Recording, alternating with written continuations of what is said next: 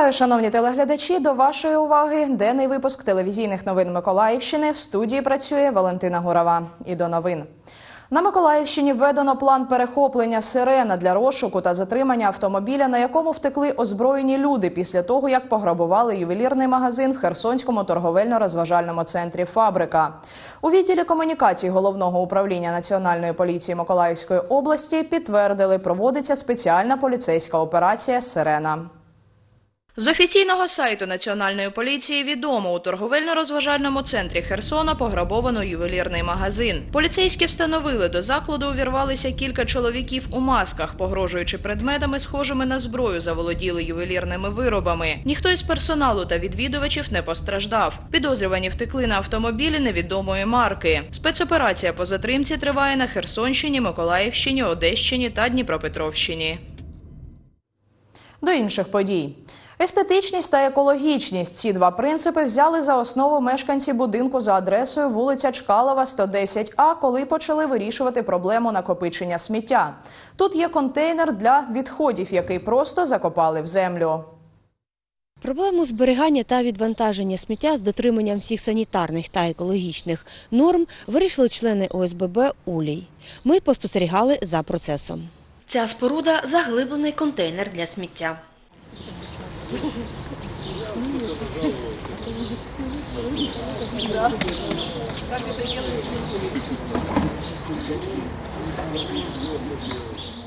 Своєю конструкцією на наочному прикладі він відрізняється від традиційних баків для сміття. Мы приняли решение, значит, Ми прийняли рішення, значить, зробити, намагатися зробити такий ось об'єкт в місті Миколаєві, зробити один такий контейнер на три куба. Цей контейнер заміняє три звичайних контейнери, які за моєю спиною знаходяться. Вони, як правило, бувають брудні, не миються, закриті, точніше відкриті, мають доступ бомжі, собаки. Конструкція цього баку для сміття інша. Голова ОСББ, автор проекту, каже, переваги є. мы находимся около контейнера, как видите, Ми знаходимося практично поряд з контейнером. Як бачите, запаху не відчувається, хоча тут збиралося сміття уже 10 днів, як мінімум. Сміття вивозиться раз на 8-10 днів. Сьогодні за графіком такий день. Спочатку приїздить маніпулятор.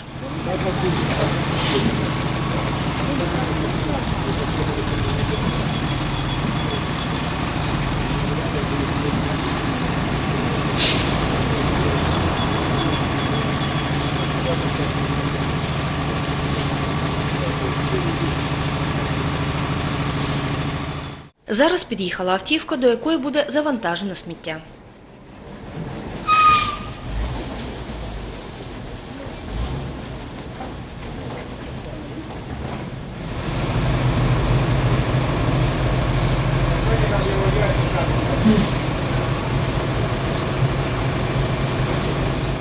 Процес завантаження сміття займає 4 хвилини.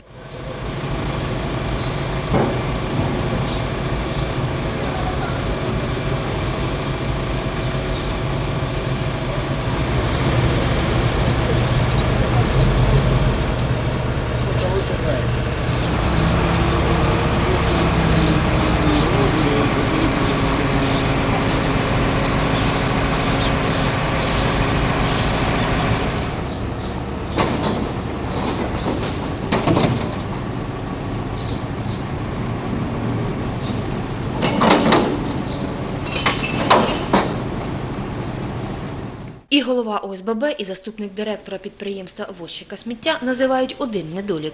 Звільнити контейнер можливо лише за допомогою двох машин.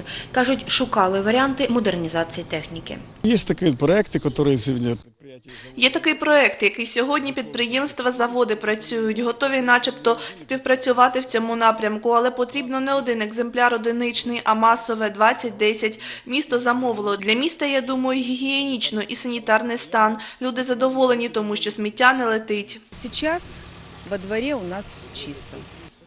Зараз у дворі у нас чисто після того, коли стояли баки по всьому двору. Все це, звичайно, розлітається. Двір говорить дякую. По-друге, нам зручно, звичайно, викидати. Ось віконце немає запаху. это экологически чисто. Це екологічно чисто, сміття не бачать назовні. Головне, що правильно користуватися, туди, якщо тільки продукти кидати, не викидати будівельні матеріали. Ну, время покажет. Час покаже, звичайно, з боку екології це красиво, чисто і добре, але сам процес ще викликає певні сумніви. І є ще справа в тому, скільки це буде коштувати. Голова ОСББ запевнив, що вартість вивезення відходів не зміниться. На 1 травня нинішнього року куб коштував 77 гривень 56 копійок. Місткість заглибленого контейнера 3 кубічних метри. А це місце, де 4 місяці тому стояли традиційні контейнери для сміття. Сейчас мы их убрали, поэтому эта территория может спокойно использовать для благоустройства. Здесь может быть э, или же какие-то деревья насажены, или же, может быть, стоянку сделаем, потому что очень много машин на территории. Олена Міщенко, Андрій Заворотній, телевізійні новини Миколаївщини.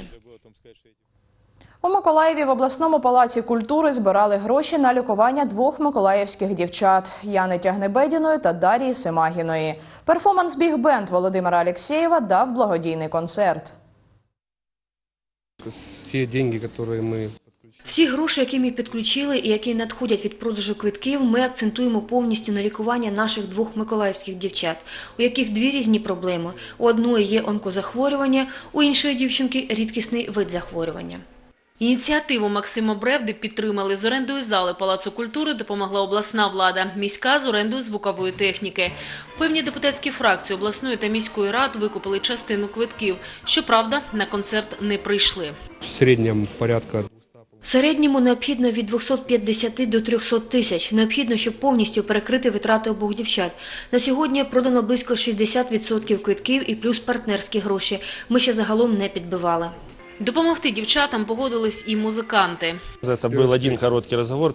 Це була одна коротка розмова, перша зустріч. Максим запропонував, ми погодились, і хлопці підтримали. І це дуже приємно.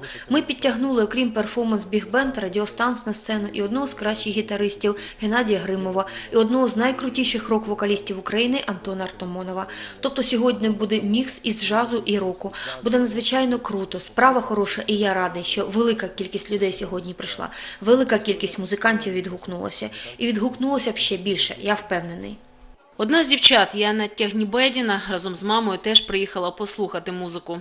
Я раньше очень любила Я раніше дуже любила веселу атмосферу компанії, ходила з дівчатами, спілкувалась. Мені це подобається, це моє. Тільки на діагностику Яни необхідно кілька тисяч доларів. І в Україні такі хвороби не лікують. У нас э, У нас хвороба, яку ще не вивчили, ювенільний дермітоміазит. Наші вчені ще не вивчили цю хворобу. Ну вони в процесі, і ми лікуємось як можемо. Лікарі нам призначили певне лікування. В нашій Україні не все знають, не всі аналізи можна зробити правильно. Тому нам запропонували дослідження в Ізраїлі. Там нам скажуть, як нас можуть вилікувати. На це треба щонайменше 5 тисяч доларів.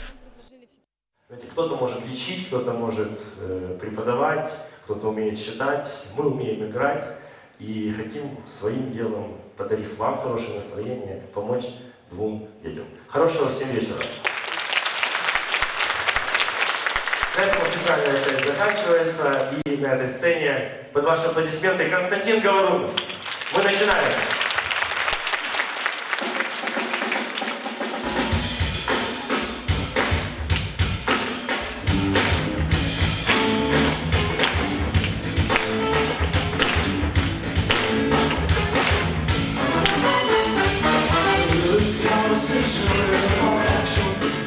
Скільки грошей зібрали організатори благодійної акції, буде відомо завтра. Вартість квитків стартувала від 50 гривень і сягала 400. Коли ж необхідна сума буде зібрана, Дарина поїде на лікування до Австрії, а Яна на діагностику до Ізраїлю.